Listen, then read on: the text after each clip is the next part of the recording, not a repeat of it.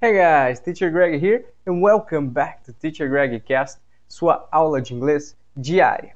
Aquele podcast onde eu compartilho algum áudio curto com algum insight ou ensinamento ou algum aprendizado para aprimorar o seu inglês. Antes de irmos para a nossa aula, eu gostaria de perguntar se você já está inscrito em nosso curso 100% gratuito. Sim, 100% online, 100% gratuito, sem pegadinha. Lá nós analisamos textos, resumos de textos vindos da idiomas, ou seja, são textos de qualidade, algo sobre desenvolvimento pessoal, ou finanças, ou carreira, ou business, enfim, algo, algum conteúdo que vai agregar para o seu desenvolvimento pessoal e profissional e você vai aprender inglês porque vamos ganhar muito vocabulário neste curso 100% gratuito. Então, se você ainda não se cadastrou, basta digitar lá é, teachergregcast e você vai se cadastrar e vai nos encontrar curso 100% gratuito. Nosso today's topic é algo que geralmente gera bastante dúvida.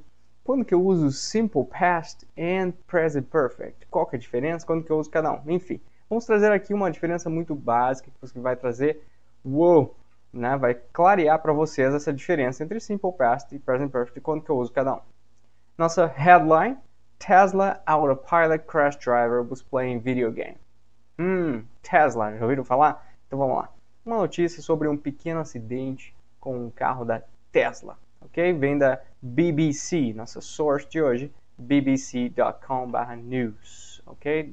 Slash news. Então vamos lá, como de costume, fazer a leitura três vezes em inglês, depois fazemos a leitura, a tradução, a interpretação e aí sim vamos entender simple past versus present perfect, ok?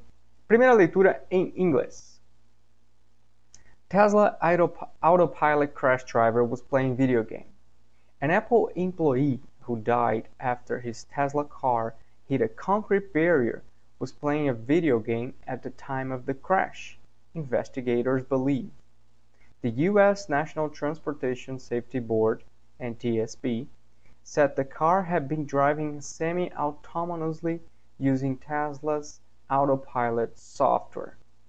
Tesla instructs drivers to keep their hands on the wheel in autopilot mode. But the NTSB said more crashes were foreseeable if Tesla did not implement changes to, to its autopilot system. The authority has published the results of a two year investigation following the crash in March 2018. Primeira leitura, então, um pouco mais conturbada. Vamos à segunda leitura, creio que aí vocês vão pegar mais coisas. Se é que já não entenderam tudo, né? Então vamos à segunda leitura em inglês. Tesla autopilot crash driver was playing video game.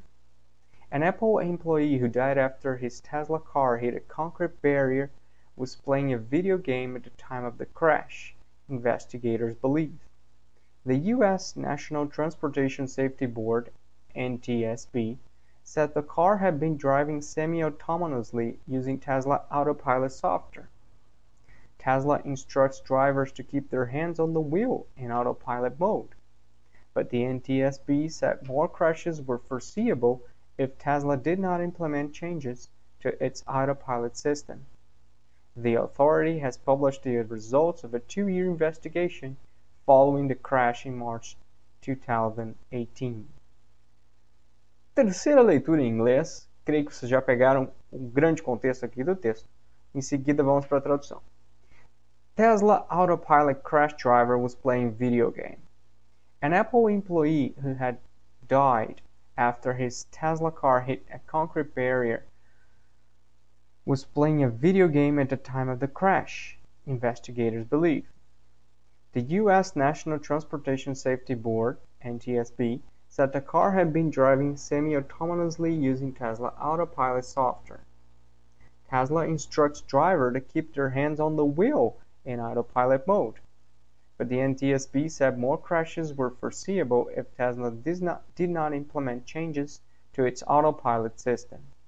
The authority has published the results of a two-year investigation following the crash in March 2018. Agora vamos à tradução depois interpretamos e aí sim vamos à diferença entre simple past and present perfect. Tesla autopilot crash driver was playing video game. O motorista do acidente com o piloto automático da Tesla estava jogando videogame.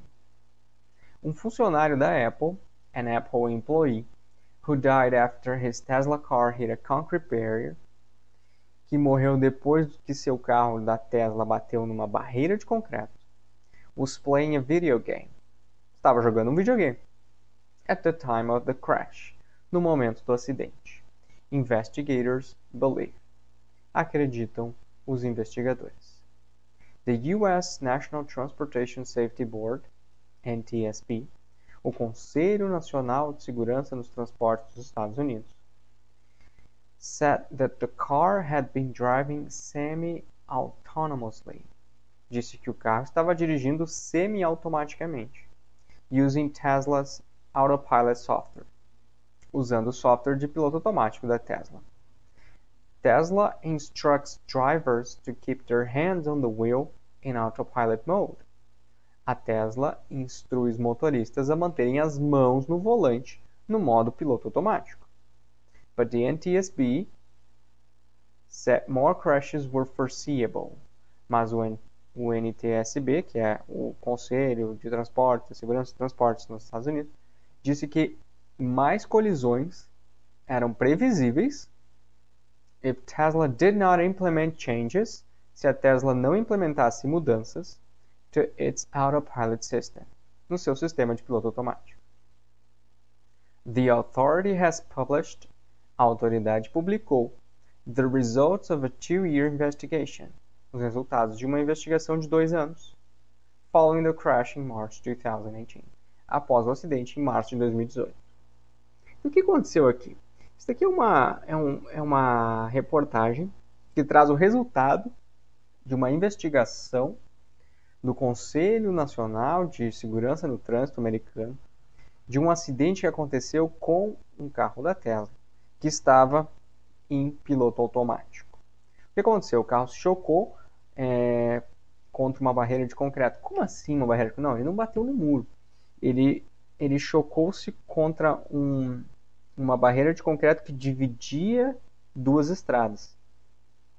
Ou seja, esse esse motorista não estava atento o suficiente, o piloto automático não identificou aquela, aquela divisão da estrada, porque era uma estrada que se dividia ali com uma, uma barreira de concreto. E aí as investigações trazem que ele estava jogando videogame, então por isso não estava concentrado. E aí o que aconteceu foi que o carro chocou e né, veio a falecer. Então, casualmente era um, um funcionário da Apple, certo? Que estava dirigindo o seu Tesla.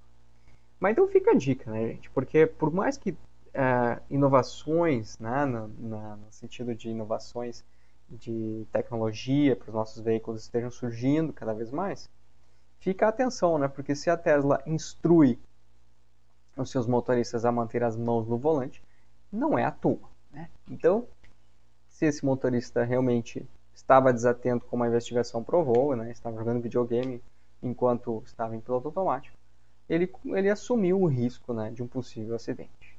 Então vamos ficar atentos aí, porque assim como quando criaram os primeiros GPS para os nossos carros, é, houveram muitos acidentes, é natural que pilotos automáticos, né, e sistemas de piloto automático, por mais avançados que sejam, também possam provocar acidentes aí até que sejam é, aperfeiçoados, vamos dizer assim.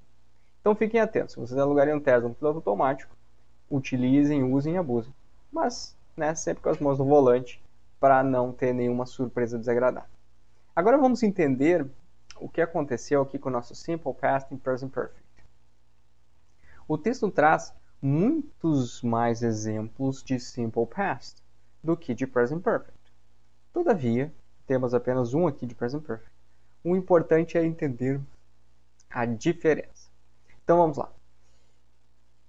Explicação.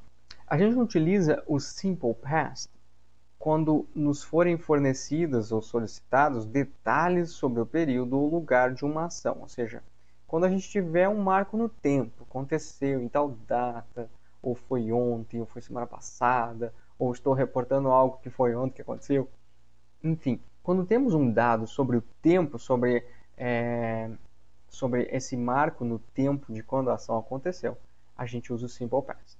Quando nós não sabemos quando isso aconteceu, ou quando não for relevante, né, quando for irrelevante o, esse marco no tempo, a gente usa o present perfect. Então, o que aconteceu aqui no nosso texto? Lá no finalzinho, diz o seguinte: The authority has published the results of a two-year investigation. Has published. Eu sei exatamente quando foi publicado? Não sei. Então, por isso, a gente usa presente perfeito. Todo o resto da, da reportagem está usando o Simple Past, porque está reportando algo que a gente sabe quando aconteceu, que foi lá em março de 2018, que foi um acidente da Tesla e tal, porque o texto nos diz isso. Então a gente usa Simple Past. Enquanto que quando eu trago uma informação que eu não sei exatamente o marco no tempo, e ela também talvez seja irrelevante para este momento, a gente usa Present Perfect. Vamos a mais um exemplo que esse vai ser bem elucidativo. Simple past. I lived in Paris in 1989. I lived in Paris in 1989. Eu vivi em Paris em 1989. Ou seja, eu vivi, eu morei em Paris em 1989. Dei uma data, marco no tempo. Agora, se eu dissesse simplesmente I have lived in Paris, I have lived in Paris, eu vivi em Paris, e eu não disse quando, então eu uso present perfect. Agora, se eu disser I lived in Paris in 1989, eu estou dizendo quando. Marquei no tempo e aí uso simple past. Um outro exemplo. They ate Thai food last night. They ate Thai food last night. Eles comeram comida tailandesa ontem à noite. Eu dei o marco ontem à noite. Agora, they have eaten Thai food. They have eaten Thai food. Quer dizer assim, eles comeram comida tailandesa. Quando? Não sei. Pode ser que eles comeram ontem, pode ser que comeram semana passada, pode ser que comeram uma vez na vida. Ou seja, já comeram Thai food uma vez na vida. Como eu não marquei o tempo, né? não, não trouxe o marco do tempo, eu uso present perfect. Ok? Espero que tenha ficado claro essa breve diferença aqui entre simple past and present perfect. Né? Comparando os dois aqui de quando usar um e outro. Claro que tem outros momentos em que eu uso present perfect, tem outras situações em que. Mas assim, para né, deixar bem é, dividido ou um ou outro, procurem um marco no tempo. Se existir alguma data, alguma referência ao passado, a gente usa Simple Past. Ok? Concluir aqui, então, só relembrando que se você quiser aprender muito mais ainda, interpretando muitos outros textos que vão também lhe trazer algum conhecimento extra para o seu desenvolvimento, inscreva-se no nosso curso gratuito em idiomas.com.br teachergregcast. Comece hoje a aprender gratuitamente mais inglês para sua vida. Ok? See you next podcast.